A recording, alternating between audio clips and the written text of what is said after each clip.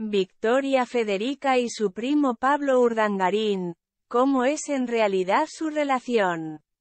Te lo desvelamos, Victoria Federica y Pablo Urdangarín son dos de los miembros más populares y mediáticos de la familia real. La fama de la hija de la infanta Elena no ha dejado de crecer en los últimos tiempos y su éxito como influencer e imagen de las marcas más prestigiosas parece no conocer límites.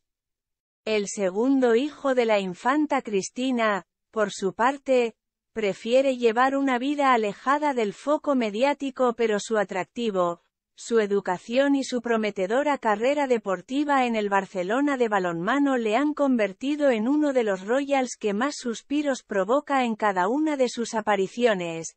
Primos, Victoria y Pablo han crecido juntos y sus imágenes con sus respectivos hermanos durante sus tradicionales vacaciones en Palma de Mallorca eran la mejor prueba de la buenísima relación que siempre han tenido.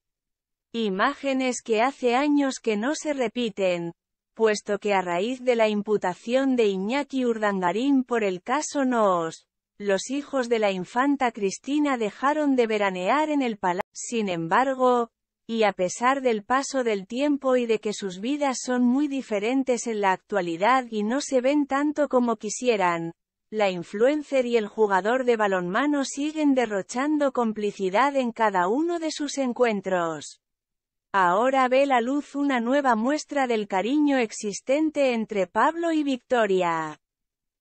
Unas imágenes captadas tras el entierro del rey Constantino en Atenas en las que el hijo de doña Cristina abraza con ternura a su prima, acariciándole la espalda tras pasarle el brazo por la cintura.